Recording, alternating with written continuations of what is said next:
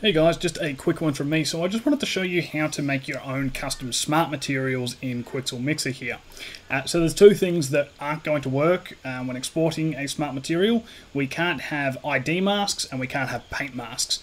Uh, so we need to go ahead and remove all these. And just to make everything a lot quicker, I'm just going to turn off the visibility of the textures, as otherwise I just sort of find that Quixel sort of tanks the process of doing everything. So let's just go ahead and delete all of these ID masks. And then once we've gotten rid of all the ID masks, we just need to make sure there's no paint masks, and I can see there's one here, so we'll just delete that. Then what we need to do is we'll just go through and we'll see if anything is using an AO map. In this case, we've got this one here. What we want to do is, unfortunately, we can't just go ahead and remove the ambient occlusion mask that's being used.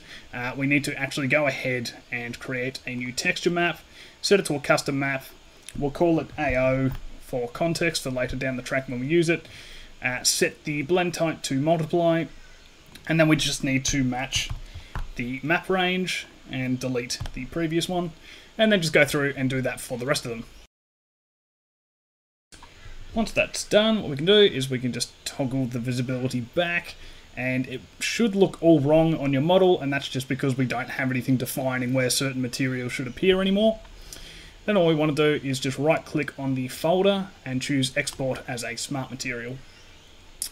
Once this is done, if you did miss any ID masks or any paint masks, uh, Quixel will actually give you an error and tell you which ones you need to go clean up. Uh, but if it's all good, then you will get this window here and you can give your smart material a name and then you can just simply export it.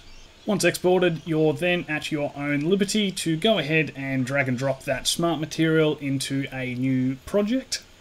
And then once it is loaded in, all you need to do is go ahead and bring in the relevant ambient occlusion and ID masks to correctly define where materials need to belong on this new model. But this is great because it means that once you go ahead and build out one texture, all you need to do then is uh, just quite simply bring it across to a different model and it's all there and already done for you. You don't need to go through the whole process again uh, of making a brand new texture setup uh, and you can just either build on top or just simply reuse the original one that you had and it's just a massive time saver.